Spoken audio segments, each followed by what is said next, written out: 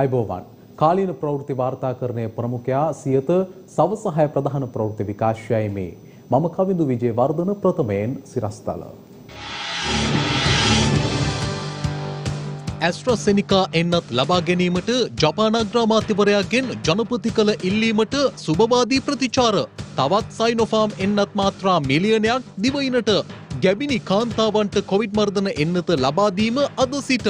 දිනකදී සෞඛ්‍යංශ වාර්තා කළ වැඩිම කොවිඩ් මරණ ගණන ඊයේ දිනයෙන්. මරණ සංඛ්‍යාව පනස් හතරක් ඊයේ දිනට කිසිදු මරණයක් වාර්තා වී නැහැ. සෞඛ්‍ය අංශ පවසයි. රට තුළ දැඩි සංචරණ සීමා තවමත් ක්‍රියාත්මකයි. විදේශීය සංචාරකීන් ශ්‍රී ලංකාව පුරා සංචාරයේ. විශ්‍රාම ගිය හෙද හෙදියන් අවශ්‍යතාවය අනුව කොන්ත්‍රාත් පදනම මත නැවත සේවයට බඳවා ගැනීමට අගමැතිගෙන් උපදෙස්. සෞඛ්‍ය සුළු සේවකීන් අද වැඩවර්ජනයක. පොහොර අර්බුදය තේවගාවටත් වත්මන් ආණ්ඩුව කාබනික උන්මාදයකින් පෙළෙන බවට සමගි ජන බලවේගෙන් චෝදනා. රජ්‍ය වෙනස් කිරීමට සූදානම් වන කනිජතෙල් පනතින් රටට දැඩි අහිතකර තත්ත්වයක් ජවි පෙපෙන්වා දෙයි. ශ්‍රී ලංකාවේ ආර්ථික වර්ධනයට කොළඹ වරාය නගරයේ වැදගත්කම රාජ්‍යාමාත්‍ය අජිත් නිවාඩ් පහදයි. එක්ස්ප්‍රස් පර්ල් නෞකාවෙන් සිදු වූ පාරිසරික හානිය ගණනය කිරීම ඇරඹේ. ප්‍රථමයෙන් දේශීය පුවත්. ගැබිනි මව්වරුන් සඳහා කොවිඩ් මර්ධන එන්නත ලබාදීම අද ආරම්භ වුණා. මේ අතර ඇස්ට්‍රසෙනිකා එන්නත් මාත්‍රා ලක්ෂ හයක් ලබා දෙන ලෙස ජනාධිපති ගෝඨාභය රාජපක්ෂ මහතා ජපාන අග්‍රාමාත්‍යවරයාගෙන් කළ ඉල්ලීමට සුබවාදී ප්‍රතිචාර හිමිව තිබෙනවා. ඇස්ට්‍රොසෙනිකා එන්නත් මාත්‍රා ලක්ෂ හයක් ලබා දෙන ලෙස ජනාධිපති ගෝඨාභය රාජපක්ෂ මහතා ජපාන අග්‍රාමාත්‍ය යොෂිහිඩේ සුගා මහතාගෙන් කළ ඉල්ලීමට සුබවාදී ප්‍රතිචාර හිමි වී තිබෙනවා. ජනාධිපතිවරයා සහ ශ්‍රී ලංකාවේ ජපාන තානාපති සුගියාමා අකිරා මහතා අතර අද පෙරවරුවේ ජනාධිපති කාර්යාලයේ පැවති හමුවේදී මේ බව සඳහන් කෙරුණා. කොවිඩ් මර්ධන වෛද්‍ය සහ සෞඛ්‍ය ආරක්ෂණ උපකරණ ලබා ගැනීමට ජනාධිපතිවරයා කළ ඉල්ලීම කෙරෙහිද ජපාන රජයේ එකගතාව පළ වී තිබෙනවා. චීනයේ බීජිං නුවර සිට එන්නත් තොගේ රැගත් UL අටසිය හැට නවය දරන විශේෂ ගුවන් යානය අද අලුයම පහට පමණ කටුනායක ගුවන්තොටුපළ වෙත ළඟා වුණා.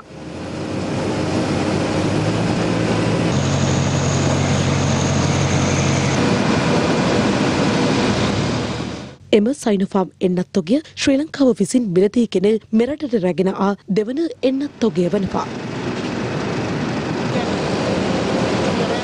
අද අලුයම මෙරටට රැගෙන ආ සයිනෆාම් එන්නත් මාත්‍රා මිලියනය ශ්‍රී ලංකා ඖෂධ නීතිගත සංස්ථාවේ විශේෂ ශේතකරණ පහසුකම් සහිත ට්‍රක් රථ මගින් කොළඹ පිහිටි මධ්‍යම ගබඩා සංකීර්ණය වෙත රැගෙන යාමට පියවරගෙන තිබෙනවා.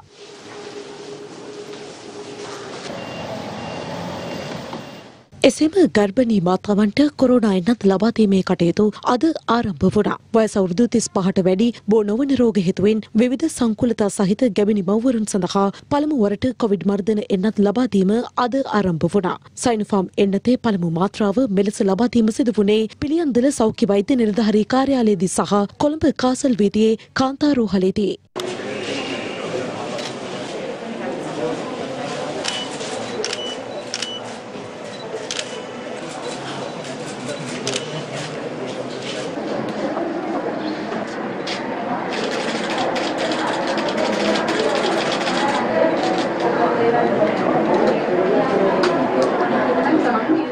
මෙහිදී අපි ගර්භණී මව්වරන්ට විශේෂයෙන්ම සඳහන් කරන්නේ මේ එන්නත් ලබා දීමේ ක්‍රමවේදය තම ප්‍රදේශයේ පෞල් සෞඛ්‍ය සේවා නිලධාරිනියත් සමග සාකච්ඡා කර ඔවුන් විසින් සඳහන් කරන දිනයට පැමිණ ඔවුන්ට ඒ එන්නත ලබා දීමට අවශ්‍ය වැඩ කටයුතු ඒ පෞල් සෞඛ්‍ය සේවා නිලධාරිනිය විසින් සංවිධානය කරනවා ඇති. එම නිසා එන්නත් කරන සෑම ස්ථානයකටම ගොස් එහි අර අනවශ්‍ය ලෙස තෙරපි හෝ කරදර විඳ එම එන්නත ලබා ගැනීමට උත්සුක වන්න එපා. මෙරට කොවිඩ් එන්නත් කරන වැඩසටහන යටතේ ඊයේ දිනේදී සයිනොෆම් එන්නතේ පළමු මාත්‍රාව පුද්ගලයන් 43000 454 දෙනෙකුට ලබා දී තිබෙනවා. ඒ අනුව මේ දක්වා සයිනොෆම් එන්නතේ පළමු මාත්‍රාව මෙරට පුද්ගලයන් දසලක්ෂ 33028 දෙනෙකුට ලබා දී ඇති බවයි සෞඛ්‍ය අමාත්‍යාංශය පැවසුවේ. මේ අතර ඊයේ දිනේදී කොවිෂීල්ඩ් ඇස්ට්‍රාසෙනෙකා එන්නතේ දෙවන මාත්‍රාව මෙරට තවත් පුද්ගලයන් 466 දෙනෙකුට ලබා දී ඇති බව වසංගත රෝග විද්‍යායකගේ ප්‍රකාශ කළා. මේ දක්වා කාලය තුළ මෙරට පුද්ගලයින් හැට හතර දහස් නවසය සූහයි දෙනෙකුට ස්පුට්නික් එන්නතේ පළමු මාත්‍රාව ලබා දී තිබෙනවා. කොරෝනා මර්ධන එන්නත් කරන වැඩසටහන අදත් දිස්ත්‍රික්ක දාසයක් කේන්ද්‍ර කර ගනිමින් ස්ථාන එකසේ දහයකදී ක්‍රියාත්මක කෙරුණා. ඒ අනුව කොළඹ ගම්පහ කළුතර කුරුණැකල පුත්තලම ත්‍රිකුණාමලය හම්බන්තොට මඩකලපුව අම්පාර පොළොන්නරුව අනුරාධපුරය බදුල්ල නුවරඑළිය මතලේ රත්නපුර සහ කෑගල් යන දිස්ත්‍රික්කවලදී කොවිඩ් මර්ධන එන්නත් ලබා දීම සිදු කෙරුණා.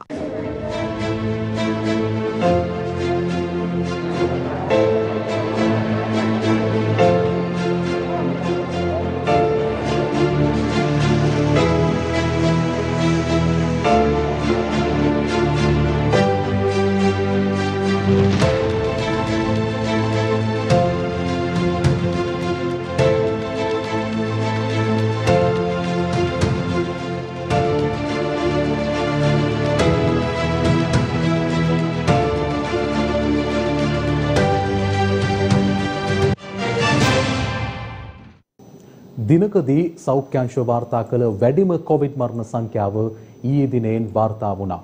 එම සංඛ්‍යාව 54ක් බවයි රජයේ ප්‍රවෘත්ති දෙපාර්තමේන්තුව සඳහන් කළේ.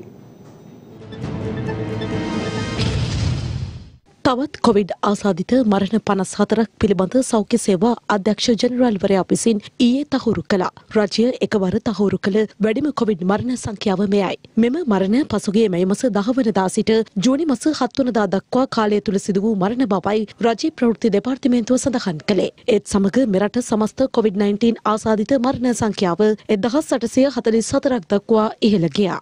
ඊයේ දින මෙරටින් COVID-19 නව ආසාධිතයින් දෙදහස් හයසිය අසූ දෙදෙනෙකු හඳුනා ගැනීමට හැකි වුණා. ඊයේ දින වැඩිම ආසාධිතයින් සංඛ්‍යාවක් වාර්තා වී තිබුණේ කොළඹ දිස්ත්‍රික්කයෙන්. එම සංඛ්‍යාව හයසිය දෙකක්. ඊට අමතරව ගම්පහ දිස්ත්‍රික්කයෙන් ආසාධිතයින් හාරසිය තිස් හතරක් කළුතරින් එකසිය දහතුනක් කුරුණෑගලින් දෙසිය හැත්තෑවක් පුත්තලමෙන් හතක් කෑගල්ලෙන් හැට පහක් රත්නපුරින් එකසිය දහනවයක් ගාල්ලෙන් අසුනවයක් මාතරින් තිස් පහක් හම්බන්තොටින් හැට පහක් නුවරෙලිය දිස්ත්‍රික්කෙන් ආසාධිතයින් එකසිය දහනවයක් මහනුවරෙන් අනුනවයක් මාතලෙන් පනස් හතරක් බදුල්ලෙන් තිස් පහක් මොනරාගලින් තිස්තුනක් අම්පාර දිස්ත්‍රික්කෙන් ආසාධිතයෙන් විසි පහක් මඩකලපුවෙන් දෙසේ විසි දෙකක් ත්‍රිකුණාමලයෙන් පනස් අටක් අනුරාධපුරෙන් පනස් තුනක් පොළොන්නරුවෙන් හතරක් මන්නරමෙන් නවයක් වවුනියාවෙන් දා හතරක් මුලතෙව් දිස්ත්‍රික්කෙන් ආසාධිතයින් එකොළහක් කිරිනොච්චෙන් තිස් නවයක් සහ යාපනය දිස්ත්‍රික්කෙන් ආසාධිතයින් හැටතුනක් වාර්තා වී තිබුණා. පහුගිය සතියට සාපේක්ෂව රෝගීන්ගේ සුළු වැඩිවීමකුත් මරණ 100ට 28කින් විතර වැඩිවීමක් තමයි පෙන්වුම් කරන්නේ. තවම අඩු වෙන පැත්තට ගිහිලා නැහැ. බීජ අවසන සමයේ දවස් දෙකෙන් දවස් 14ක් පුරාවට පුළුවන් රෝගය පැතිරෙන්න. එතකොට ලොක්ඩවුන් කරන්න කලින් විස බීජ ඇතුළු වුණා නම් සති 14ක් දක්වා ඒ බෝ වෙන්න පුළුවන්. ඉතින් ඒ රෝගීන් තමයි අපි තාම දකින්නේ. මොකද තාම සති දෙකයි රට වහලා. තව සතියකින් විතර අපි බලමු දත්ත දිහා. හැටන් පොලිස් බල ප්‍රදේශයෙන් ඊයේ දින කොවිඩ් ආසාධිතයින් විසි පස් දෙනෙකු හඳුනාගෙන තිබෙනවා. එම ආසාධිතයින් විසි පස් දෙනාගෙන් ආසාධිතයින් දා හතර දෙනෙකු හැටන් දික්කොයි නගර සභා සේමාවේ බවයි හැටන් දික්කොයි නගර සභාවේ සෞඛ්‍යංශ නිලධාරීන් ප්‍රකාශ කළේ. මේ අතර අඩ සිය වසකට අධික කාලයක් තිස්සේ මෙරට ජනතාවට සේවය සලසන රයිනෝ සමූහ ව්‍යාපාරය COVID-19 රෝගය මැඩලීමේ සටන තවදුරටත් ශක්තිමත් කිරීමේ අරමුණෙන් මිලියන දහයකට අධික වටිනාකමකින් යුත් දැඩිසත්කාර ඒකක වෙන්ටිලේටර් යන්ත්‍ර අටක් සෞඛ්‍ය අමාත්‍යංශය වෙත පරිත්‍යාග කර තිබෙනවා. රයිනෝ රූෆින් සමූහය නියෝජනය කරමින් එම සමූහයේ කළමනාකරන අධ්‍යක්ෂ ඊජේ ඥානම් මහතා ඇතුළු ජේෂ්ඨ කළමනාකාරීත්වයද අමාත්‍ය පවිත්‍ර වන්‍යාරච්චි මහත්මිය ඇතුළු සෞඛ්‍ය අමාත්‍යංශයේ ජේෂ්ඨ නිලධාරීන්ද මෙම අවස්ථාවට එක්ව සිටියා. රට තුළ පැතිර යනු ලබන COVID-19 වෛරස් ව්‍යාප්තිය මැඩ පැවැත්වීම සඳහා සෞඛ්‍ය අංශයන් සමග එක්ව ශ්‍රී ලංකා ගුවන් හමුදාව සක්‍රිය දායකත්වය ලබා දෙනු ලබන අතර COVID-19 වෛරස් ආසාදිතයින් හට නිරතුරුවම නිරාවරණය වීමට ගුවන් හමුදා සමාජිකයින් හට සිදුවන බැවින් ඔවුන්ගේ ආරක්ෂාව වෙනුවෙන් සෞඛ්‍ය අමාත්‍යංශය විසින් සෞඛ්‍ය උපකරණ තොගයක් අද ගුවන් හමුදාපති එයා මාර්ෂල් සුදර්ශන පතිරණ මහතා වෙත රාජ්‍ය අමාත්‍ය චන්න ජයසුමන මහතා විසින් ගුවන් හමුදා මූලස්ථානයේදී නිල වශයෙන් බහර දීම සිදු වුණා. අද දවසේ මේ මොහොත වන විට නව කොවිඩ් ආසාදිතයින් දෙදස් එකසිය හැත්ත තුන් දෙනෙකු හඳුනාගත් බව යුද හමුදාපති ජෙනරල් ශවෙන්ද සිල්වා මහතා පවසනවා. රට තුළ දැඩි සංචරණ සීමා පවතින මොහොතක විදේශ සංචාරකයින් සඳහා රට විවෘත කිරීම සම්බන්ධයෙන් සමාජයේ පවතින කතිකාවත පිළිබඳවයි අද වයිට් ඇන්ඩ් බ්ලැක් තුලින් අවධානය.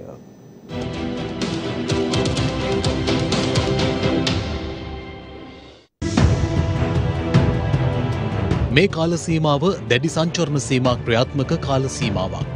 මේ කාලසීමාව තුළ අනවශ්‍ය ගමන් යාම සිදු නොකර නිවෙස් තුළටම වෙලා ඉන්න කියලයි සෞඛ්‍ය අංශ අපව නිරන්තරයෙන් දැනුවත් කරන්නේ.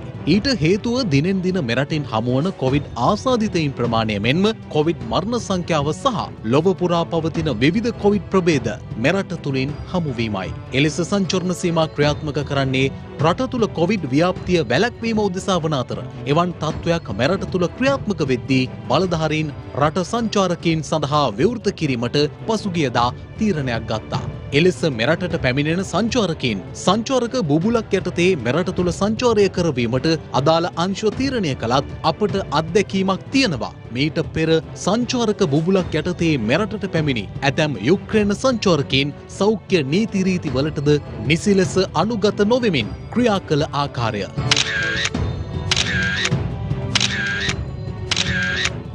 එවන් පසුබිමක් තුළ මෙලෙස මෙරට සංචාරකීන්ට විවෘත වන්නේ ඇයිදැයි ජනතාවට මෙන්ම අපටද ඇත්තේ ප්‍රශ්නාර්ථයක්.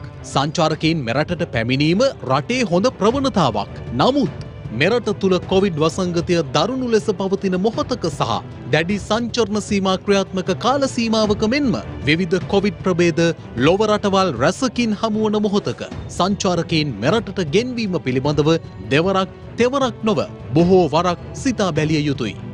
රටේ වත්මන් තත්ත්වය තුළ සංචෝරකින් මෙරටට ගෙන්වීම සම්බන්ධයෙන් යාල සෆාරි රථ රියදුරන්ද පසුගිය දිනක සිය විරෝධය පළ කළා. එමෙන්ම විපක්ෂනායකවරයාද පසුගියදා නිවේදනයක් නිකුත් කරමින් සඳහන් කළේ මෙරට සංචෝරකින්ට විවෘත කිරීම තවත් කොවිඩ් පොකුරක් නිර්මාණය කිරීමකට අත වැනීමක්ද යන්නයි. ඒ කෙසේ වුවත් මේ මොහොත වන විටත් සැලකිය යුතු සංචාරකින් පිරිසක් මෙරටට පැමිණ අවසන්. ඒ අනුව එලෙස පැමිණි ප්‍රංශ සංචාරකින් පිරිසක් අද පොළොන්නරුව ප්‍රදේශයට සංචාරය කිරීම සඳහා මෙලෙස පැමිණියා.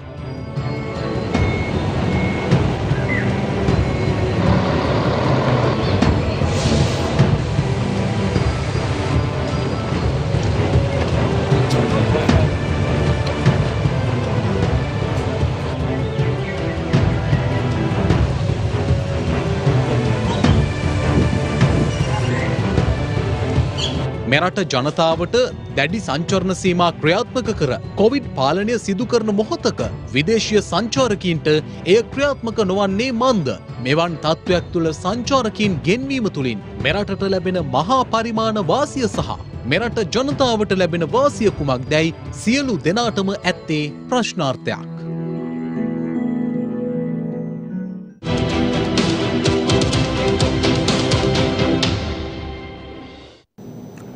විදෙස්ගතව මෙරටට පැමිණෙන පුද්ගලයින් නව සෞඛ්‍ය මාර්ගෝපදේශ අනුව ක්‍රියා ක්‍රියා කළ යුතු ආකාරය සම්බන්ධයෙන් ප්‍රජා වෛද්‍ය උපදේශක දිල්හානි සමරසේකර මහත්මිය අද පැවති මාධ්‍ය හමුවකට එක්වෙමින් මෙලෙස අදහස් පළ කළා. අපිට දැන් පැමිණෙන මගින් සාමාන්‍යයෙන් අපි කියන්නේ එන්න පැය 96කට පෙර PCR පරීක්ෂණයක් සිදු කරන්න කියලා. ඒක නෙගටිව් නම් තමයි එයාට ගුවන් යානයක නැගලා එන්න පුළුවන්. ඊට අමතරව රජය විසින් නියම කළා තිනවා මේ දවස්වල එන ගුවන් යානයකට 75ක් පමණක් මගින් ගෙන එන්න කියලා. ඇත්තට මේ අවස්ථාවේදී ගුවන් යාන අධිකාරීන්ට බල දීලා තියෙනවා 75ක් ගෙන් කරලා. එතකොට ඒගොල්ලන් බුකින් එක කරගන්න ඕනේ එයාලයින් එකක. සමහරලාට තමන්ගේ රටේ තියෙන එම්බසි එක හරහත් ඒ ගැන වැඩි විස්තර අහගන්න පුළුවන්. සියලු දෙනාටම අනිවාර්යයෙන්ම නිරෝධායන විය යුතුයි මධ්‍යස්ථානයක හෝ හෝටලයක රජය එකක් අවශ්‍ය නම් ඒගොල්ලන්ට ගුවන් තොටුපළේදී හමුදාවේ මගින් පාලනය වෙන මේ මධ්‍යස්ථානයක් ලබා ගන්න පුළුවන්. වැක්සීන් අනුමත මාත්‍රා ගහලා එන්නතක් ගහලා එන අය එන්න දවස වෙනකොට සති දෙක පැනලා තියෙන්න ඕනේ. එහෙම අයට විතරයි 6 වෙනිදා ඉඳන් ඔන්න රයිවල් PCR එක නෙගටිව් නම් හැබැයි නිවස් තුරට ගිහිල්ලා නිරෝධායනය වෙන්න ඕන තමන්ට. එතකොට තමන් හිතන්න ඕන තමන් මේ නිරෝධායනය වෙන්න යන නිවස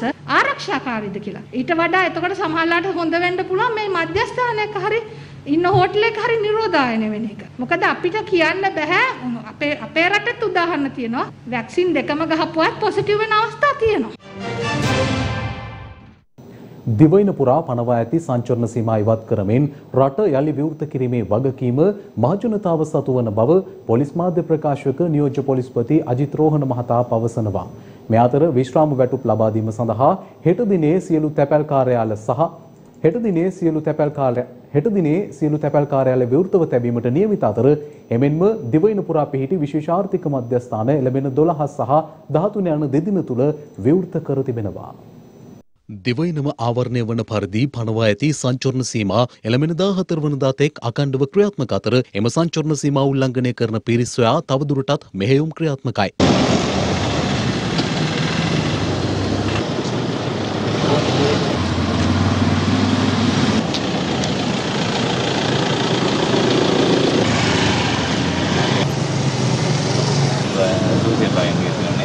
සංචරණ සීමා තවදුරටත් මේ දින කිහිපෙත් ක්‍රියාත්මක වෙනු ලබනවා. ඒ නිසා ඔබ නිවසේම රැඳී සිටමින් සංචරණ සීමාවලට අනුගතව කටයුතු කරන ලෙසට ඉල්ලා සිටිනවා. අත්‍යවශ්‍ය සේවාවල සමාජික සමාජිකාවන් වුවද නිරන්තරයෙන්ම මුහුණු ආවරණ පැළඳ දුරස්ථභාවය තබාගෙන කටයුතු කළ යුතුයි. යම් අවස්ථාවකදී සේවයට පැමිණීමේදී, උදෑසන ආහාර ගැනීමේදී, දහවල් ආහාර ගැනීමේදී එකට කණ්ඩායම් වශයෙන් නොසිට දුරස්ථභාවය තබාගෙන මුහුණු ආවරණ ඉවත් කර ආහාර ගැනීම සිදු කළ යුතුයි. යුතුයි වෛද්‍ය විශේෂඥයින් වසංගත රෝග විශේෂඥයින් පවසා සිටින්නේ බොහෝ විට ආහාර ගන්න අවස්ථාවලදී මුහුණු ආවරණ ඉවත් කිරීමෙන් සමහර විට මේ රෝගය තවත් පාර්ශවයකට ව්‍යාප්ත වීමට හැකියාවක් ඇති බවයි. ඔබ මේ ආකාරයටම තවත් දින කිහිපයක් රැඳී සිටියහොත් ලබන 14 වෙනිදා වන විට මේ සංචාර සීමා නිමා කරමින් අපිට රට සාමාන්‍ය පරිදි විවෘත කිරීමට හැකි වෙයි.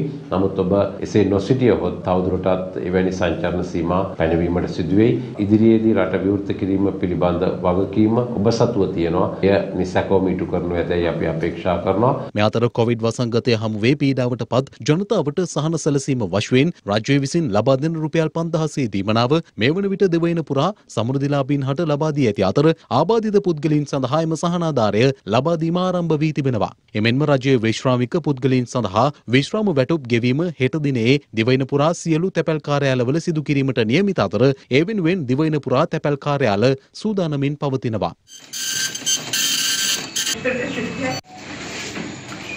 සංචරණ සීමා පනවා තිබුණද දෙවයින පුරා සියලු මාර්ථික මධ්‍යස්ථාන ඊයේ මෙන්ම අද දිනේත් විවෘතව පවතිනවා. සංචරණ සීමා පනවා තිබුණද තමුත්තේ ගම විශේෂාර්ථික මධ්‍යස්ථානය අද දිනේ ගොවීන් සහ තොග වෙළඳුන් සඳහා විවෘත කෙරුණා.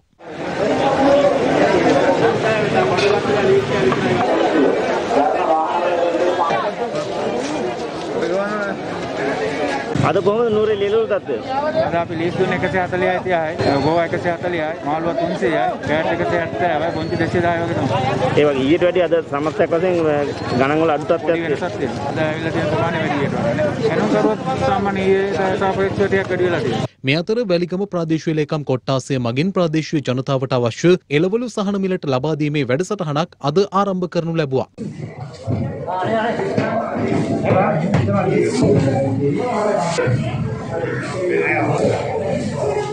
මේ අතර අනුරාධපුර නොච්චියා ගම කටුපත්වාව ප්‍රදේශයේ ගස්ලබු ගොවීන් සියස්වනු අලවි කරගත නොහැකිව අසරණ තත්වයට පත්ව ඇති පුවතක් අපට වාර්තා වුණා.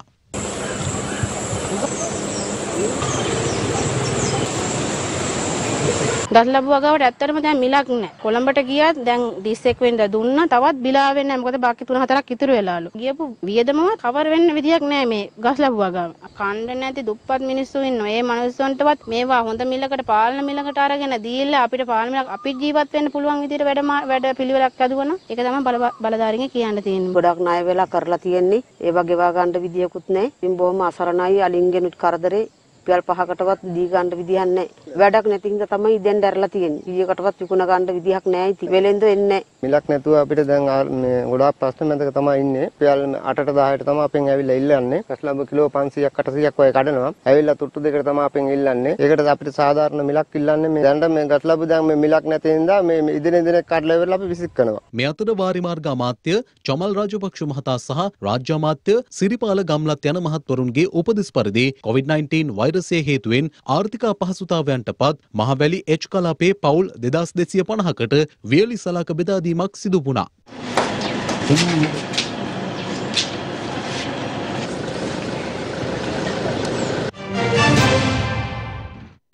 විශ්‍රාම ගිය හෙදහෙදියන් අවශ්‍යතාවය අනුව කොන්ත්‍රාත් පදනම මත නැවත සේවයට බඳවා ගන්නා ලෙසට අග්‍රාමාත්‍ය මහින්ද රාජපක්ෂ මහතා විසින් සෞඛ්‍ය අමාත්‍ය පවිත්‍ර වන්‍යාරච්චි මහත්මියට උපදෙස් ලබා දී තිබෙනවා.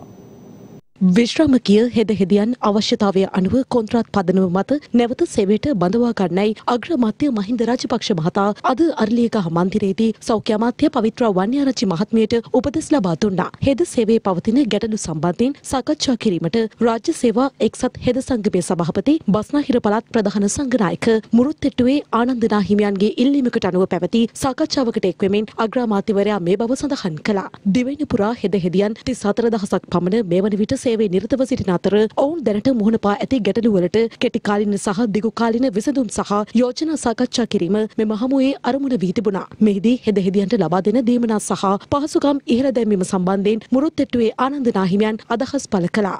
එසේම විශ්‍රාමකීය හෙද හෙදියන් අවශ්‍යතාවය අනුව කොන්ත්‍රාත් පදනම මත නැවත සේවයට බඳවා ගන්නයි සෞඛ්‍ය අමාත්‍යවරයට මෙහිදී දැනුම් දුන් අග්‍රාමාත්‍යවරයා හෙද හෙදියන්ගේ සේවා කාලය දීර්ඝ කිරීමේ කාර්යයේ වත්මන් තත්ත්වය පිළිබඳවද විමසා සිටියා. හෙද හෙදියන්ගේ සේවා කාලය වසර 63ක් දක්වා දීර්ඝ කිරීමේ අමාත්‍ය මණ්ඩල සංදේශය මේ වන විට කැබිනට් මණ්ඩලය අනුමැතියට යොමු කර ඇති බව සෞඛ්‍ය අමාත්‍යාංශ ලේකම් එස්.එච්. මුණසිංහ මහතා මෙහිදී අනාවරණය කළා.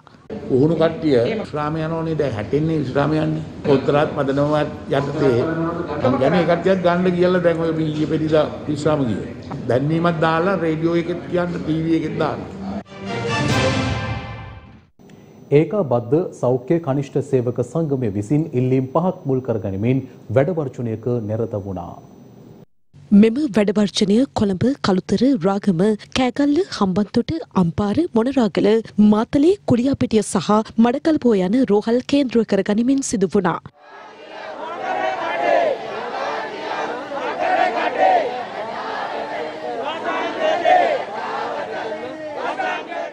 සියලු සෞඛ්‍ය සේවකීන්ට කොවිඩ් අවධානම් දීමනාව ලබාදීම සෞඛ්‍ය සේවක හිඟය අඩු කිරීම ප්‍රවාහන දීමනා ලබාදීම ඇතුළු ඉල්ලීම් කිහිපයක් මුල් කරගනිමිනුයි මෙම වැඩවර්ජනය සිදු කෙරුණේ.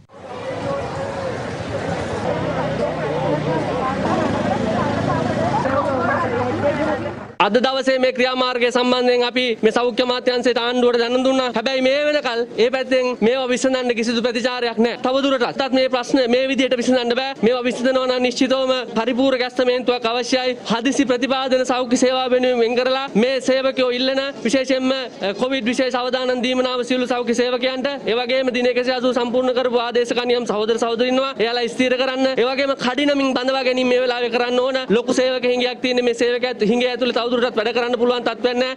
ඒ නිසා වහාම බඳවා ගන්න ප්‍රවාහන ප්‍රශ්න විසඳන්න තවදුරටත් මුදල් දීලා අපිට බස් වල යන්න පුළුවන් තත්ත්වයක් නැහැ. එන්නත් කරන ගැටලු වහාම විසඳන්න ඕන සියලු දෙනාට එන්නද ලබා දෙන්න මැදිහත් වීම කරන්න ඕන. අනෙක් පැත්තෙන් ආරක්ෂිත උපකරණ ඇතුළු ඒ ඒ දේවල් සම්බන්ධයෙන් මතුවලා තියෙන ගැටලු වලට ශනික මැදිහත් වීමක් කළ යුතුව පවතිනවා. ඒ වගේම අපි රාජ්‍ය සේවය ඇතුළේ දැන්ටමත් දින 6ක් වැඩ කරනවා. සෙනසුරාදා දිනයත් වැටුප් ගෙවීමකින් තොරව අපි වැඩ කරන්නේ. ඒ නිසා අමතර වැඩ කරන දිනේට වැටුපෙන් 30 එක දීමනාවක් දෙන්න. ගිනිගෙනීමට ලක් වූ MV එක්ස්ප්‍රස් පර්ල් නෞකාවෙන් සිදු වූ පරිසර හානිය ගණනය කිරීමේ කටයුතු ආරම්භ කර ඇති බව සමුද්‍රීය පරිසර ආරක්ෂණාධිකාරියේ සභාපති දර්ශනී ලහඳපුර මහත්මිය අප කළ විමසීමකදී ප්‍රකාශ කළා.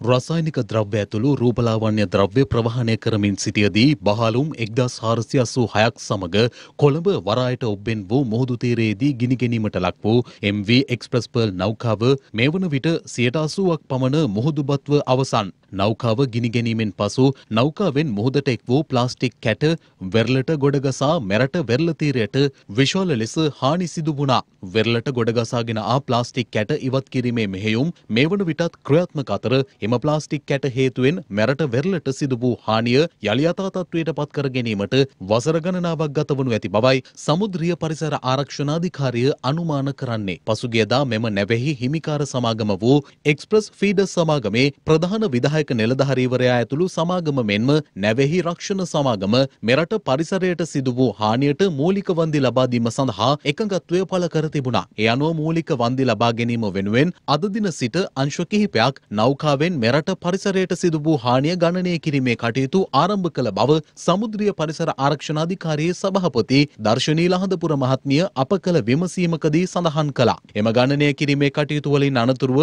නීතිපතිවරයා හරහා අදාළ මූලික වන්දි මුදල් ලබා ගැනීමේ කටයුතු සිදු කරන බවයි එම මහත්මිය වැඩිදුරටත් ප්‍රකාශ කළේ. මේ අතර නෞකාව විනාශවීමෙන් අනතුරුව එයින් සිදු වූ බලපෑම හේතුවෙන් මුහුදු ජීවීන් සැලකිය යුතු ප්‍රමාණයක් මරණයට පත්ව වෙරළට ගොඩගසා තිබූ අතර ඒ අතර වඳවීමේ තර්ජනයට ලක්ව ඇති කැස්බෑ වන්ද වුණා. ඒ අනුව දකුණු මුහුදු තීරයේ මියගිය කැස්බෑවුන් සහ ඩොල්ෆින් මත්සයින් හමුවීම සම්බන්ධයෙන් සාගර මිතුරු සංසදය විසින් ඊයේ දින දකුණු මුහුදු තීරයේ නිරීක්ෂණයක නිරත වුණා.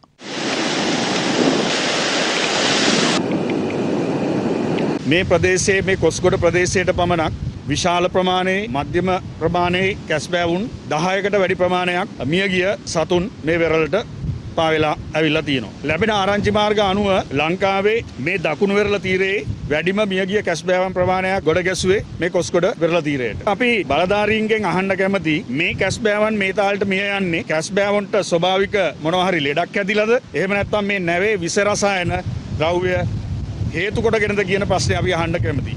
දැන් අපේ ප්‍රදේශවල මිනිස්සු මාළු කෑම අතෑරලා තියෙනවා. ඒතර මේ මාළු කෑම අතෑරලා තිබීම නිසා විශාල දීවර ප්‍රජාවක් අද අන්ත අසරණ තත්වයකට පත් වෙලා තියෙනවා. රත්නපුර දිස්ත්‍රික්කයේ කුඩා තේවතු හිමියන්ද මේ වන විට පවතින පොහොර හිගේ හමුවේ දැඩි ලෙස පීඩාවට පත්ව සිටිනවා. මේ පිළිබඳ තොරතුරුයි. රජය විසින් රසායනික පොහොර භාවිතය මෙරට තහනම් කිරීමට ගත් තීරණයත් සමග දිවයින පුරා විවිධ වගාවන් ආශ්‍රිතව සිය ජීවනෝපාය සිදුකරගෙන ගිය ගොවයින්ට දැඩි දුෂ්කරතාවයන්ට මුහුණ පෑමට සිදු වුණා. ඒ අනුව රත්නපුර දිස්ත්‍රික්කේ පුරා විසිරී සිටින කුඩා තේවතු හිමියන්ද පොහොර හිඟේ හේතුවෙන් දැඩි ගැඩලුකාරී තත්ත්වයකට පත්ව සිටිනවා. තේදලු කර්මාන්තයේ නියුතු ගොවින් පවසන්නේ සිය තේවගාවන් සඳහා ප්‍රමාණවත් පරිදි පොහොර නොලැබීම හේතුවෙන් නිසි පලදාවක් ලබාගත නොහැකි මට්ටමකට පත්ව ඇති බවයි. මේ පෝර නැතිකමට තමයි මේ ඉතින් මේ කොළ හැදෙන්නේ. කොළ විතරයි වෙන්නේ. දලු 1යි 2යි ඉන්නේ හරින්නේ. පෝර ටිකක් ලැබෙනවා නම් මේ අස්සනක් නෙලා ගන්න පුළුවන් මේ. මේ සම්බන්ධයෙන් සමස්ත ලංකා තේදලු වෙළඳ සංගමය මෙලෙස අදහස් පළ කළා. විශේෂයෙන්ම රජයෙන් රසායනික පොහොර ලබා දීම හිටි අඩියේම නතර කිරීම නිසා කුඩා තේවතු හිමියන්ගේ ආදායම මේ වෙනකොට 50කින් අඩු වෙලා තියෙනවා. මේ නිසා තේ ගොවිතැනින් තේ ගොවියා ඉවත් වීමේ අවදානමක් උදා වෙලා තියෙනවා කියන එක අපිට පේන යන කාරණයක්. තේ ගොවියා අපෙන් ඉල්ලා සිටින්නේ ගුණාත්මයෙන් ඉහළ හොඳ පොහොර මිටියක් මිසක්කා සහන ආධාරයක් එහෙම නෙවෙයි. රසායනික පොහොර භාවිතය නතර කරන්නේ නම් වර්ෂයකට 120 බැගින් අඩු කරලා ඒ වෙන වෙනුවට කොම්පෝස් පෝර ලබා දෙන්න කියලා අපි ඉල්ලීමක් කරනවා. හැබැයි මේ පෝර මිටිය 100%ක්ම දේශීය විය යුතුයි කියන යෝජනාවත් අපිට අපේ තේගොවියා කරනවා. මේ අතර ගිනිගත් හේන ගොවිජන සේවා මධ්‍යස්ථානයේ යටතේ පාලනය වන හැටන් රුවන්පුර ප්‍රදේශයේ තේ සහ එළවලු වගා ගොවීන්ට අවශ්‍ය රසායනික පොහොර බෙදා දීම එම ගම්මානයේදී සිදුවන තේ වගාව සහ එළවලු වගාව සිය ජීවනෝපාය වශයෙන් ගෙන පවුල් 400කට ආසන්න පිරිසක් එම ගම්මානයේ ජීවත් වන අතර එම ගොවීන්ගේ අවශ්‍යතාවයෙන් අවම වශයෙන් කොටසක් හෝ ලබා දීමට කටයුතු කරන බවයි ගොවිජන සේවා මධ්‍යස්ථානයේ නිලධාරීන් පැවසුවේ.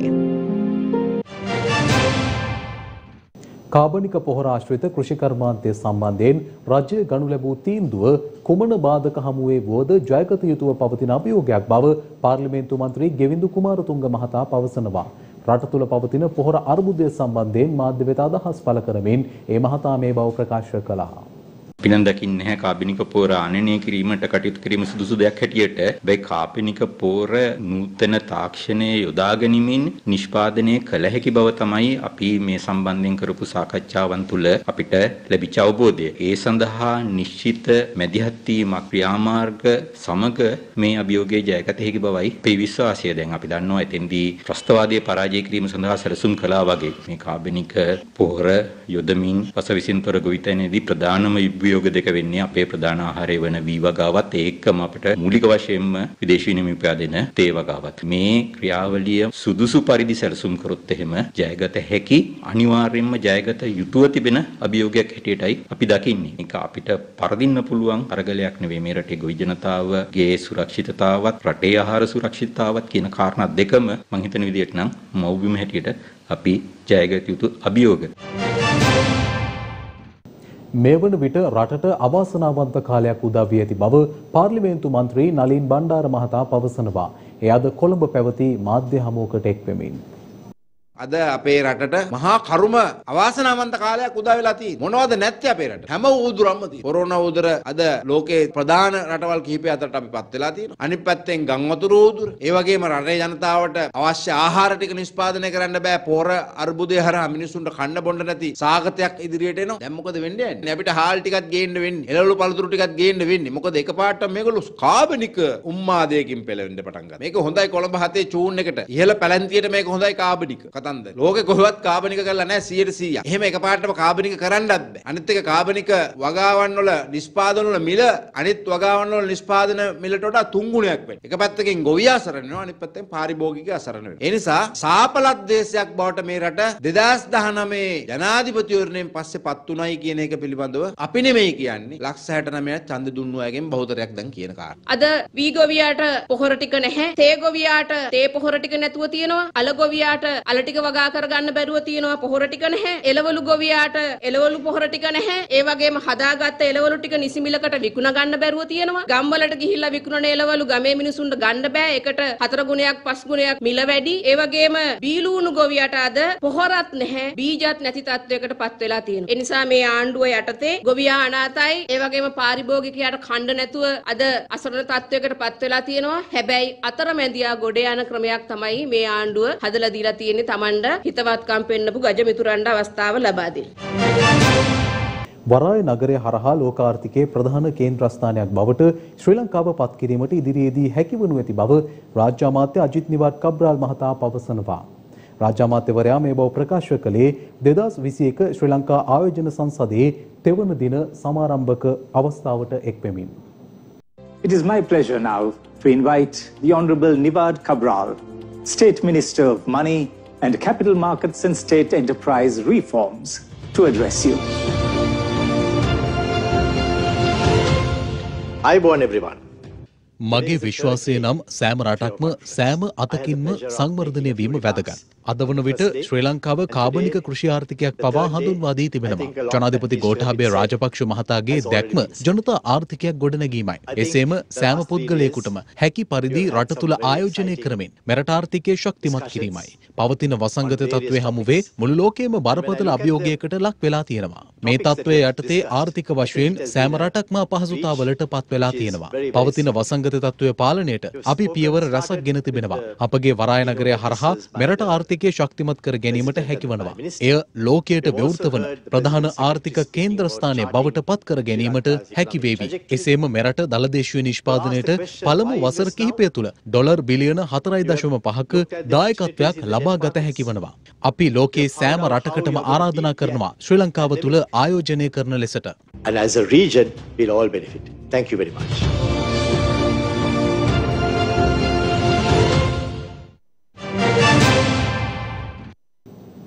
කනිජ තෙල් පනත සංශෝධනය හරහා මෙරට කනිජ තෙල් පාලන අධිකාරිය පුද්ගලික ආයතනයක් වෙත පැවරීමේ සූදානමක් පවතින බව ජනතා විමුක්ති පෙරමුණේ ප්‍රචාරක ලේකම් පාර්ලිමේන්තු මන්ත්‍රී විජිත හේරත් මහතා පවසනවා. එය අද කොළඹ පැවති මාධ්‍ය හමුවකට එක් වෙමින් පෙට්‍රල් ඩීසල් භූමිතෙල් හා දැවිතෙල් ආදී ಖನಿජ තෙල් නිෂ්පාදන හා විකල්ප ඉන්ධන ආනයනය අපනයනය පිරිපහදු කිරීම විකිණීම සැපයීම නිෂ්පාදනය කිරීම මිශ්‍ර කිරීම හා බෙදා හැරීම සඳහා විධිමත් තෝරා ගැනීමේ ක්‍රමවේදයක් යටතේ සුදුසුකම් ලබන ඕනෑම පාර්ශවයක් වෙත අමාත්‍ය මණ්ඩල අනුමැතිය මත අවසර ලබා දීම සඳහා විශේෂ අමාත්‍යවරයා වෙත බලය ලබා දීමට තමයි පනත සංශෝධනය කරන්නේ. ලාභ ලබන ආයතනයක් වෙච්ච පෙට්‍රෝලියම් නීතිගත සංස්ථාව අද පාඩු ලබන ආයතනයක් බවට පත් කරලා කෝටි 66000ක ණයකාරයෙක් බවට පත් වෙලා තියෙනවා. මේකෙන් වෙන්නේ මොකද්ද? මෙතෙක් රාජ්‍ය සතුව තිබිච්ච තෙල් ආනයනය, අපනයනය, ගබඩා කිරීම, පිරිපහදුව, බෙදා හැරීම, අලවිය සියලු බලතල පුද්ගලිකංශයට විකිණි. මේ විකිණෙන්නේ සුළුපටු දෙයක් නෙමෙයි. අපේ රටේ අනාගතයේ මේ විකිණෙන්නේ. රටම මෙහෙවිය හැකි බලශක්තිය එක පෑනකට බලය පැවරීමෙන් කුණා දෙමීමක් සිද්ධ වෙනවා. ඒ බලශක්තිය මෙහෙවන පුද්ගලික ආයතනයට පුළුවන් ඕනම වෙලාවක රටක් නවත්තන්න. අපේ ජාතික ආරක්ෂාව පරදුවට තියලා අපේ ජාතික සම්පත් කුණු කොල්ලට කොම්පැනිකාරයන්ට විකුණන ජනතා ද්‍රෝහි දේශද්‍රෝහි වැඩක් තමයි මේ ගම්මන් පිළ ඇමතිවරයා ඇතුළු ආණ්ඩුව කරන්න ලෑස්ති වෙන්නේ. ඒ නිසා ඒකට ඉඩ දෙන්න එපා කියන එක අපි මේ රටේ ජනතාවගෙන් ඉතා උණෑකමින් ඉල්ලා සිටිනවා. ආණ්ඩු බිත්තියට හේතු කරලා ඒ සමාගම් Tamanට උමනා වැඩ ටික කරනවා. ඉන්දියාව තොණ්ඩුව දාලා අල්ලන් ඉන්නේ. රටේ මිනිස්සු කොවිඩ් වලින් ගෙවල් වලට හිර කරලා තියලා අද ආණ්ඩුව කැබිනට් පත්‍රිකා සම්මත කරනවා රටේ දේපල මහ ජනතාවගේ දේපල කුණු කොල්ලට විකුණලා විජාතීකරණයට ලක් කරන්න. ඉතින් මේ වගේම තමයි හැදුවේ. ඊයේ පෙරේදා අපි දැක්ක අර වාහන ගෙන්නන කැබිනට් පත්‍රිකාව දාලා කැබිනට් පත්‍රිකාව ඇකුළුවට දැන් වාහන හදමින් තියෙන්නේ. එතකොට දැන් හෙට අනිද්දා වෙනකොට කියයි කරන්න දෙයක් නැහැ ගේන්න උනා කියලා. නිසා මේ කැබිනට් පත්‍රිකාව සම්මත කරොත් වෙන්නේ ආයෝජකයෝ එන්න කලින් අපේ රටේ තෙල් පිරිපහදුව වැහිලා චීනටයි ඉන්දියාවටයි තෙල් ගෙනීමට විකිරීමට සහ පිරිපහදු කිරීමට අවශ්‍ය ලයිසන් ටික දීලා මේක අවසන් කරනවා. දැන් මේ හදන්නේ නංගි පෙන්නලා මුත්තම්ම දෙන වගේ වැඩක් මේ කරන්න යන්නේ. තෙල් සංස්ථාවේ මලගම සනිටුහන් කරන්න හදන්නේ නිසා මේ 50 සංශෝධනයේ වහාම හකුලා ගත යුතුයි. මේ පනත පරාජය කළ යුතුමයි කියන කාරණේ තමයි අපේ ස්ථාවරය හැටියට අපි කියන්නේ. ආණ්ඩුව විසින් ක්‍රියාත්මක කිරීමට නියමිත නගර සියයක් එකවර අලංකරණය කිරීමේ වැඩසටහන පිළිබඳව විපක්ෂ නායක සජිත් ප්‍රේමදාස මහතා නිවේදනයක් නිකුත් කර තිබෙනවා. රටපුරා විසිරී ඇති නගර සීයක් ක්‍රමානුකූල සැලැස්මකට සහ වැඩපිළිවෙලකට අනුව අලංකාර කිරීම අරමුණු කර ගනිමින් රාජ්‍ය විසින් ඉදිරිපත් කළ සීයක් නගර නම් වැඩසටහන සඳහා ඊයේ දින කැබිනට් මණ්ඩලයේ අනුමැතිය හිමි වුණා. මේ සම්බන්ධයෙන් විපක්ෂ නායක සජිත් ප්‍රේමදාස මහතා නිවේදනයක් නිකුත් කර තිබෙනවා. එම නිවේදනයෙන් උපුටා ගැනීම් කිහිපයක්. නගර සියයක් එකවර අලංකරණය කිරීමේ වැඩසටහනක් ක්‍රියාත්මක කිරීමට ආණ්ඩුව සැරසෙයි. ඒ සඳහා රුපියල් මිලියන දෙදහක අතිරේක ප්‍රතිපාදන මුදලක් වෙන් කරනු ඇති බවද පැවසේ. මෙරට සුන්දර විය යුතු බවත් ඒ පිළිබඳව කිසිදු ගැටලුවක් නොමැති බවත් පළමු කොට සඳහන් කරමි. එහෙත් මෙම ව්‍යසනකාරී මොහොතේ කළ යුත්තේ නගර අලංකරණය කිරීමට වඩා මෙරට ලක්ෂ දෙසීයකගේ ජීවිත අලංකරණය කිරීමය. මේ මොහොතේ රටේ සමස්ත අධ්‍යාපනය ව්‍යාකූල වී ඇත. ඔන්ලයින් අධ්‍යාපනය තවමත් ආගන්තුක වී ඇති අතර වගකීම් විරහිත අමාත්‍යවරයෙකුගේ අදූරදර්ශී ක්‍රියාපිළිවෙත තුළින් එය තවත් ව්‍යවුල් වී තිබේ. එනයින්ගත් විට සමස්ත දූදරු පරපුරගේ ජීවිත අසුන්දර වී ඇත. ගුරුවරු උපකාරක ගුරුවරු ඇතුළු සමස්තයද දැඩිසේ පීඩාවට පත්ව ඇත. සෞඛ්‍යංශයේ සුවවිරුවන්ගේ ඉතාම සරල ඉල්ලීම් පවා ලබා නොදෙමින් ආණ්ඩුව ඔවුන්ගේ ජීවිත අසුන්දර කොට ඇත. එන්නත් කරණය සහ මුලින්ම දේශපාලනීකරණය කරමින් කොරුණා ව්‍යසනය දේශපාලන පාපන්දුවක් බවට පත් කොට ඇත. මේ මොහොතේ සමස්ත මිනිස් ජීවිත අලංකාර කොට ඉන් පසුව නගර අලංකාර කිරීමට අවධානය යොමු කරන ලෙස ආණ්ඩුවට බල කර සිටිමු. උපුටා ගැනීම අවසන්. විපක්ෂනායක සජිත් ප්‍රේමදාස. මේ අතර මේ සම්බන්ධයෙන් අද පැවති සමගි ජනබලවේග මාධ්‍ය හමුවේද අදහස් පළ වුණා.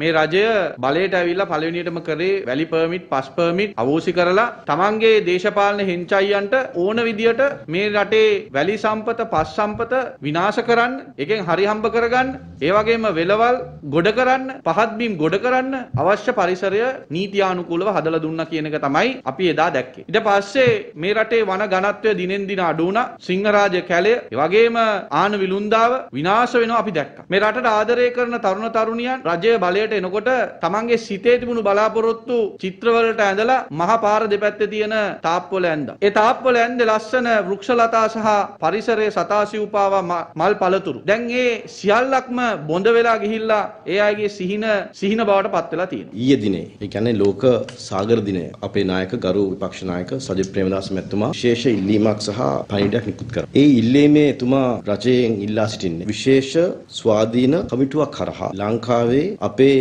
සාගරය බේරා ගන්න අපි යම් කිසි වැඩ පිළිවෙත් කරන්න ඕනේ. ඒ පිළිබඳව තුමා ලිඛිතව අතිගරු ජනාධිපති ගෝඨාභය රාජපක්ෂ මැතිතුමාට, ගරු අග්‍රාමාත්‍ය මහින්ද රාජපක්ෂ මැතිතුමාට, ඒ වගේම ගරු කතානායකතුමාටත් ලිඛිතව එතුමාගේ අදහස් සහ වගකිය යුතු විපක්ෂයක් හැටියට අපේ අදහස්, අපේ යෝජනා අපි ඉදිරිපත් කරලා තියෙනවා.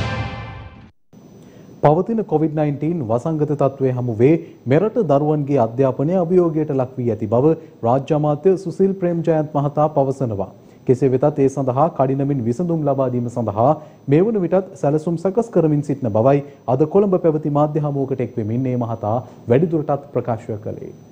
සමහර දරුවන් දුෂ්කර ප්‍රදේශවල මේ අන්තර්ජාල පහසුකම් ලබා ගන්න අපි දැක්කා සු කඳුමුතුන් මතට ගෙවල වහලට නැත්තම් ගස් උරට නගින තත්ත්වයක් තියෙනවා. මේ අධ්‍යාපනයේ තියෙන ප්‍රශ්නයකට වඩා මෙතන තියෙන යටිතල පහසුකම් පිළිබඳ ප්‍රශ්නයක්. දැන් සමහර ප්‍රමුඛ පාසල් වලින් ඔන්ලයින් ක්‍රමයට ඉගැන්වීම් කටයුතු කරනවා. ඒ බොහෝ වෙලාවට නගරවලට සීමා වෙලා තියෙනවා. උපකාර පන්ති පවත්වන අය විශාල පිරිසක් ඔන්ලයින් ක්‍රමෙන් ඒකට කරනවා. ඒ වගේම අධ්‍යාපන අමාත්‍යාංශයේ ඊතක්ෂලාවේ අන්තර්ගතයන් සෑම විෂයකටම සෑම ශ්‍රේණියකටම තියෙනවා. ඒ සඳහා දවසකට මිලියන 3ත් 4ක් ප්‍රමාණයක් ශිෂ්‍යීන් ප්‍රවේශය ගන්නවා. ඒ ගන්න ප්‍රවේශයට ඩේටා සඳහා මුදල් අය කිරීමක් සිදු වෙන්නේ නැහැ. අන්තික දරුවන්ට ප්‍රවේශය තියන්නේ ඒ කන්ටෙන්ට්ස් වලට පමණයි. ඉන් පරිබාහිර කොහටක්වත් යන්න පුළුවන් කමක් නැහැ ඊතක්සලාවේ. ජනහා සංඛ්‍යා ලේඛන දෙපාර්තමේන්තුවේ විස්තර අනුව 122කට තමයි අන්තර්ජාල පහසුකම් අපේ රටේ ලබා ගන්න පුළුවන්කම තියෙන්නේ. ඒක නිසා මෙතෙන්දී විශාල අභියෝගයක තමයි අපි ඉන්නේ. එතකොට අධ්‍යාපනය පන්ති කාමරයේ වෙන දේ ඒ ආකාරයෙන්ම උමන ආකාරයෙන් මාර්ගගත ක්‍රමයට කළත් රූපවාහිනියකින් කළත් ඒ තීන මට්ටමින් දරුවන්ට ධාරණය කරගන්න පුළුවන්ද කියන එක විශාල අභියෝගයක්. විශේෂයෙන්ම 1 2 ශ්‍රේණිවල තමයි සාක්ෂරතාවය ඇති කරන්නේ. එතකොට සාක්ෂරතාවයේ 1 2 කියන පන්ති දෙකේ අපිට මගහැරුණොත් ඒක තාම දුෂ්කර විශාල අභියෝගයක් වෙනවා. ඒක නිසා මේ වෙන විට නිවසටම යම් යම් වැඩපොත් ලබා දෙන වැඩපිළිවෙලකට ගිහිල්ලා යම් ක්‍රියාකාරකම් පදනම් කරගෙන ඒ අවශ්‍ය අනුමැතින් ලබා ගැනීම සඳහා වැඩ කටයුතු කරගෙන යනවා. අපි බලාපොරොත්තු වෙනවා අගෝස්තු මාසයේ මුල් සතිය වෙනකොට මේ වැඩපිළිවෙල ආරම්භ කරගන්න බොහෝ වෙලාවට දිවයිනේ දිස්ත්‍රික්ක කිහිපයක ඇතැම් ස්ථානවලට මිලිමීටර් 50ට වැඩි තරමක තද වැසිය තිබිය හැකි බව කාලගුණ විද්‍යා දෙපාර්තමේන්තුව පවසනවා. බස්නාහිර සබරගමුව සහ වයඹ පළත්වලත් ගල්ල මාතර නෝරැලිය සහ මහනුවර දිස්ත්‍රික්කවලත් විටින් විට වැසි ඇතිවීමේ හැකියාව පවතින බව කාලගුණ විද්‍යා දෙපාර්තමේන්තුව පවසනවා. සබරගමුව පළාතේ සහ නෝරැලිය දිස්ත්‍රික්කයේත් ඇතැම් ස්ථානවලට මිලිමීටර් 50ට වැඩි තරමක තද වැසි ඇතිවිය හැකි බවයි එම දෙපාර්තමේන්තුව ප්‍රකාශ කළේ. එසේම ඌව පළාතේ ස්ථාන කිහිපයක සවස් කාලයේ හෝ රාත්‍රී කාලයේ වැසි හෝ ගිගුරුම් සහිත වැසි ඇතිවිය හැකි. මධ්‍යම කඳුකරේ බටහිර බැවුම් ප්‍රදේශවලත් උතුරු උතුරු මැද සහ වයඹ පළාත්වලත් හම්බන්තොට සහ ත්‍රිකුණා ත්‍රිකුණාමලය දිස්ත්‍රික්කවලත් සුළඟේ වේගය පැයට කිලෝමීටර් 30ත් 40ත් දක්වා වැඩි විය හැකි බවද එම දෙපාර්තමේන්තුව වැඩිදුරටත් සඳහන් කළා.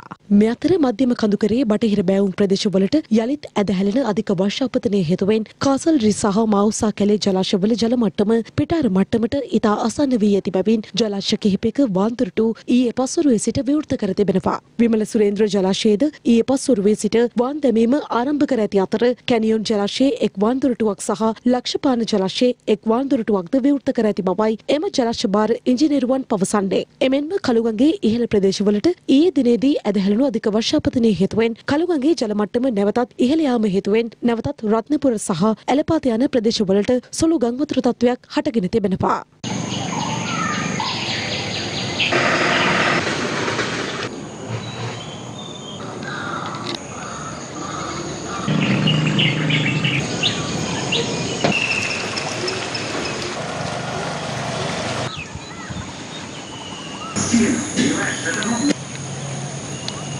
මේ අතර ගෙවනු දින කිහිපය තුළ පැවති අයහපත් කාලගුණ තත්ත්වය හේතුවෙන් සිදු වූ පුද්ගල මරණ සංඛ්‍යාව විසි එක දක්වා ඉහළ ගොස් ඇති බව ආපදා කළමනාකරන මධ්‍යස්ථානය ප්‍රකාශ කළා. දැන් තවත් පුවත් කිහිපයක්. නිපුණතා සංවර්ධන වෘත්ති අධ්‍යාපන පරීක්ෂණ සහ නවෝත්පාදන රාජ්‍ය අමාත්‍යංශයේ නව ලේකම් ලෙස දීපා ලියනගේ මහත්මිය පත් කර තිබෙනවා. ඒ මහත්මිය ඊයේ පස්වරුවේ ජනාධිපති කාර්යාලයේදී ජනාධිපති ලේකම් පී.බී. ජයසුන්දර මහතා අතින් පත්වීම් ලිපිය බහරගත්තා. යාපනය විශ්වවිද්‍යාලයේ වවුනියාව මණ්ඩපය වවුනියාව විශ්වවිද්‍යාලය ලෙසට නම් කිරීමට අදාළ ගැසට් නිවේදනය ඊයේ නිකුත් කර ඇති බව යාපනය විශ්වවිද්‍යාල වවුනියාව මණ්ඩපයේ පාලක සභාව පවසනවා. එළඹෙන අගෝස්තු පළවනදා සිට මෙය ක්‍රියාත්මක වන බවයි වවුනියාව විශ්වවිද්‍යාල පාලක සභාව වැඩිදුරටත් ප්‍රකාශ කර ඇත්තේ. ගලෙන් බිදුරු වැව ජාතික යොවුන් සේනාංකයේ පුහුණු මධ්‍යස්ථානයේ ප්‍රධානීවරයා ඇතුළු කාර්ය මණ්ඩලය සහ සිසු දරුදරයන්ගේ සහභාගීත්වයෙන් ගලෙන් බිදුරු වැව නගරයාවට සහ මධ්‍යස්ථාන බල ප්‍රදේශයේ රැකවරණය අහිමි වූ සහ සංචලන සීමා නිසා පීඩා විඳින සුනකයින් සහ බලලුන් වෙනුවෙන් ආහාර ලබා දීමේ වැඩසටහනක් සංවිධානය කර තිබුණා.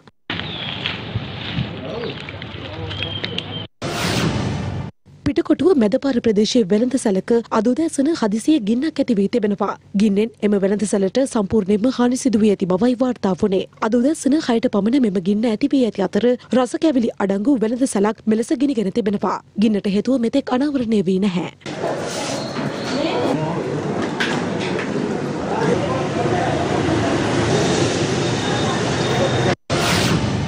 කැස්බෑව ප්‍රදේශයේදී ගිලන් රථයක් මෝටර් රථයක ගැටීමෙන් සිදුවූ අනතුරකින් ගිලන් රථය රියදුරු බරපතල තුවාල ලබා රෝහල්ගත කර තිබෙනවා. මෙලෙස තුවාල ලබා ඇත්තේ වයස අවුරුදු 30ක පමණ පුද්ගලයෙක්. කළුතර අපරාධ කොට්ටාසය මගින් සිදු කරන ලද වැටලීමකදී බේරුවල චීන කොටුව ප්‍රදේශයේ පුද්ගලයෙකු සමග නීති විරෝධී දුම්වැටි තුන්දහසක් පමණ සොයාගෙන තිබෙනවා. විදේශීය රටක නිෂ්පාදිත මෙම දුම්වැටි තීරුබදු නොගෙවා මෙරටට රැගෙන ආ බවටයි තොරතුරු අනාවරණය වී ඇත්තේ. සංචරණ කාල සීමාව තුළ අලෙවි කිරීමට සූදානම් කර තිබූ නීති විරෝධී මත්පැන් ගෝඩා ලීටර් දෙදහසක් සමග සැකකරුවන් දස දෙනෙකු නොච්චයාගම පොලිසිය විසින් අත්අඩංගුවට ගෙන තිබෙනවා. ජනාධිපති ලේකම් කාර්යාලය ඇතුළු රජයේ ආයතනවල වෙබ් අඩවිවලට සයිබර් ප්‍රහාරයක් යනුවෙන් අසත්‍ය පුවතක් සමාජ මාධ්‍ය ඔස්සේ පළ කළේ යැයි අත්අඩංගුවටගෙන රක්ෂිත බන්ධනාගාරගත කර සිටි ශ්‍රී ලංකා තොරතුරු තාක්ෂණ සංගමේ සභාපති බව කියන යසිරු කුරුවිටගේ නැමැත්තා රුපියල් ලක්ෂයක පුද්ගලික ඇපයක් මත මුදාහරින ලෙස කොළඹ ප්‍රධාන මහේස්ත්‍රාත් බුද්ධික සී රාගල මහතා නියෝග කර තිබෙනවා. පුවත් නිමයි යළිත් හමුවෙමු රාත්‍රී නවයයි තිස් පහට ඔබට සුබ සන්ධ්‍යාවක්. දෙනපතා අලුත් වීඩියෝ සහ ප්‍රවෘත්ති නැරඹීමට ඉහත බටන එක ක්ලික් කර සියත TV සබස්ක්‍රයිබ් කරන්න.